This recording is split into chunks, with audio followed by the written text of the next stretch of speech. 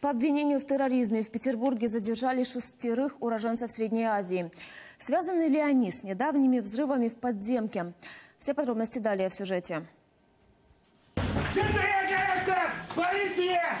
На кадрах, распространенных через СМИ российскими правоохранителями, штурм одной из квартир в Петербурге на третий день после взрыва в метро. Задержаны шестеро выходцев из Средней Азии, предположительно сторонники ИГИЛ.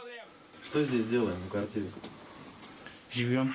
При обыске обнаружены агитационные видеоматериалы. Вот они в памяти мобильного телефона. Проповедники идеи исламизма призывают добровольцев пополнить их ряды. По словам задержанных, перед отправкой в Петербург они также общались с представителями ИГИЛ у себя на родине. Гражданин какого государства? Киргизии. Ты где-нибудь обучался? Я? Да. Да. Где? У нас У, у нас где? на Киргизии. Ну, там где? В духовном... А, да, в медресе. Каком медресе? Как называется? Медресе имам Термизи. В Следственном комитете России задержание уже прокомментировали. Связь между взрывами и предполагаемыми сторонниками ИГИЛ там не видят. Напомним, в организации взрыва в подземке российские СМИ накануне подозревали уроженца Башкирии Андрея Никитина. Позже молодой человек сам пришел в полицию, и после дачи показаний обвинения с него были сняты.